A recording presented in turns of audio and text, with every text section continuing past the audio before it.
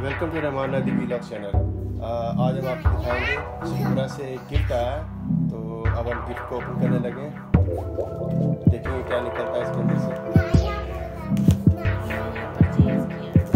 हमने ये परचेज़ किया शिवपुरा से।